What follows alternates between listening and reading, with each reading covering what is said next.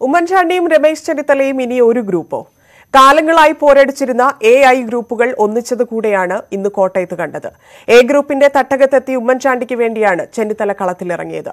A ഗ്രൂപ്പിന്റെ പിന്തുണ അറിയിച്ച് കെ സി ജോസഫും രംഗത്തെത്തിയതോടെ പുതിയ അന്തർധാര വ്യക്തം. കോൺഗ്രസിൽ നേതൃമാറ്റമുണ്ടായി. പുതിയ നേതൃത്വത്തിനാണ് സംഘടനയുടെ അധികാരം.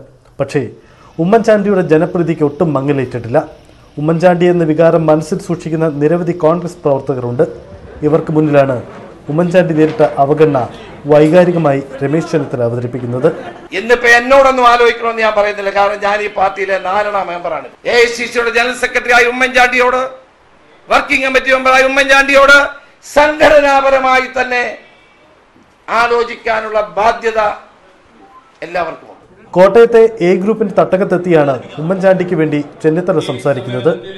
എ ഐ ഗ്രൂപ്പുകൾ തമ്മിലടിച്ചിരുന്ന പഴയ കാലം പോയി. ഇനി പുതിയ നേതൃത്വത്തിനെതിരെ ഗ്രൂപ്പുകളുടെ ഐക്യമെന്ന സന്ദേശം കൂടിയാണ് ചെന്നിത്തലയുടെ വാക്കുകളിൽ. വിമർശനങ്ങൾക്ക് കെ സി ജോസഫിന്റെ ശക്തമായ പിന്തുണ കൂടി ഉണ്ടായപ്പോൾ ഗ്രൂപ്പുകൾക്കിടയിലെ അന്തർധാരയും വ്യക്തമായി. കോൺഗ്രസിൽ താൽക്കാലിക വെടിനിർത്തലെന്ന സൂചനകൾ പുറത്തു വരുന്നതിനിടെയാണ് കടുത്ത ഭാഷയിലുള്ള ചെന്നിത്തലയുടെ നീക്കം. അതിർത്തി തുറന്നു പറഞ്ഞ് ഗ്രൂപ്പുകളെ കൂടുതൽ സജീവമാക്കാൻ കൂടിയാണ് ഇതിലൂടെ ലക്ഷ്യമിടുന്നതെന്ന് വ്യക്തം. T G Sajith news eighteen Thiruvananthapuram.